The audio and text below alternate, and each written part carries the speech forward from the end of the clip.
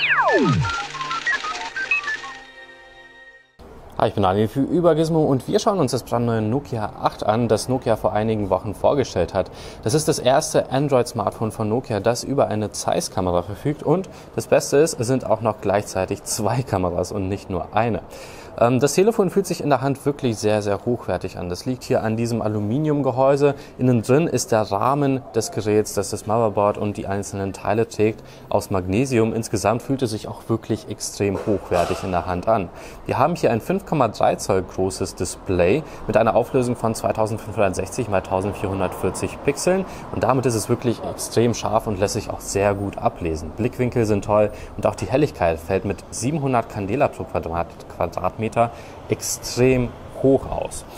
Das Star des Telefons ist aber ganz, ganz klar die Kamera. Wenn wir uns die mal anschauen, dann sehen wir, wir haben hier ein relativ einfaches, aufgeräumtes Menü und dieser Button hier, das ist eigentlich das Spannende. Wir haben die Möglichkeit mit dem 13 Megapixel Farbsensor aufzunehmen. Wir haben die Möglichkeit auch mit dem 13 Megapixel Monochrom, also Schwarz-Weiß-Sensor Fotos aufzunehmen und auch Videos.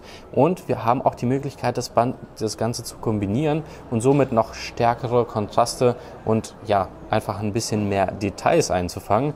Ähm, das ist ähnlich wie bei Huawei beispielsweise beim Huawei P10, aber ähm, hier haben wir eben die Möglichkeit, noch nur den Color-Sensor sozusagen zu aktivieren. Und auf den ersten Blick sehen die Fotos auch recht ordentlich aus. Ähm, der Fokus arbeitet wirklich relativ schnell und zuverlässig und gefällt mir soweit insgesamt ganz gut. Hier können wir noch ein paar Modi auswählen, unter anderem einen Panoramamodus und was ich euch auf jeden Fall noch zeigen möchte, das ist die BOFI-Funktion. Das heißt, haben die Möglichkeit, sowohl ein Bild mit der Front als auch mit der rückwärtigen Kamera und zwar gleichzeitig zu schießen. Das bedeutet, ähm, naja, ihr habt sozusagen das Geschehen um euch herum, das ihr einfangen könnt und eure Reaktion darauf.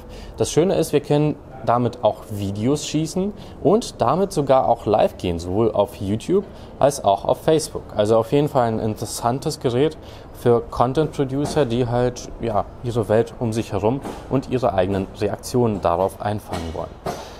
Von der Hardware her eigentlich top. Wir haben den Qualcomm Snapdragon 835 hier, 4 GB Arbeitsspeicher, 64 GB internen Speicher und dieser lässt sich auch noch mit MicroSD-Speicherkarten erweitern.